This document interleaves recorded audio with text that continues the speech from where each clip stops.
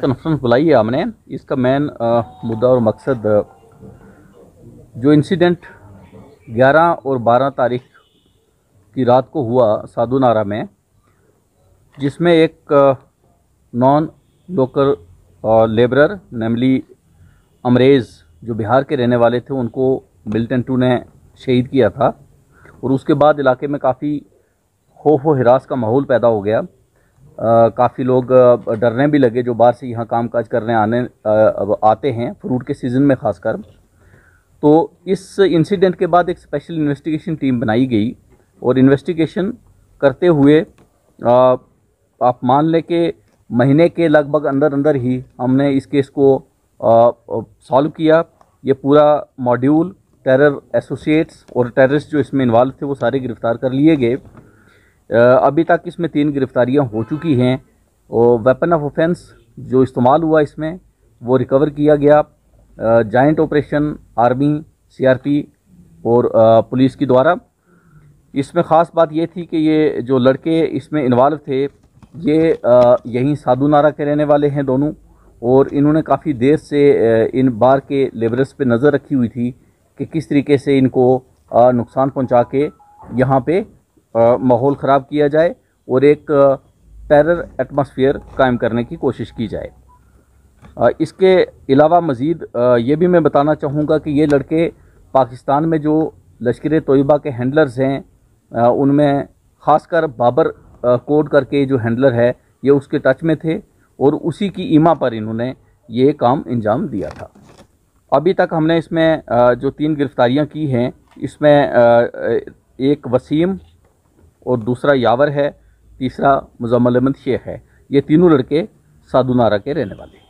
और lead basically investigation के दौरान हमारे पास जो भी वसाइल थे टेक्निकल और ह्यूमन उन सबको बरुए अमल लाया गया और इसके अलावा काफ़ी लोगों को इसमें पूछताछ की गई काफ़ी लड़के उठाए गए और आखिर क्लू जो हमें मिले उस पर काम करते हुए आ, कुछ क्लू आ, हमें मिले कुछ फौज को मिले तो उन सब तारों को जोड़ते हुए हम इस मॉड्यूल तक पहुँचे और ये केस हम क्रैक कर पाए ये पूरा टारगेट मॉड्यूल हम बस्ट कर पाए। ये अभी तक की इन्वेस्टिगेशन में पहला टेरर इंसिडेंट था इनका लेकिन जिस तरीके से इन्होंने हथियार अभी छुपा के रखा हुआ था ये किसी और टेरर इंसिडेंट की ताक में थे और इन्होंने अपनी इन्वेस्टिगे क्वेश्चनिंग में भी ये चीज़ कबूल की है कि इन्होंने आने वाले वक्त में और कुछ टेरर इंसिडेंट इलाके में करने थे रिकवरी इनसे एक चाइनीज़ मेज पिस्टल और कुछ रॉन्ड और बाकी जो वहाँ पे मौके से हमें एम्प्टी कार्ट्रेजेस वगैरह मिले थे वो हमने रिकवर किए हैं उनको बाकायदा एफएसएल एग्जामिनेशन के लिए भेजा जाएगा। मैं नहीं समझता कि बांडीपुरा को कभी भी मिलिटेंसी फ्री करार दिया गया बट इतनी बात ज़रूर है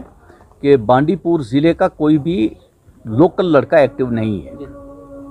तो इस किस्म के इंसिडेंट पार से जो हैंडलर्स हैं जो टेरर एटमॉस्फेयर चला रहे हैं वो हमारे लड़कों को कभी कहीं ना कहीं नौजवानों को रगला के उनसे ये इंसिडेंट करवा लेते हैं।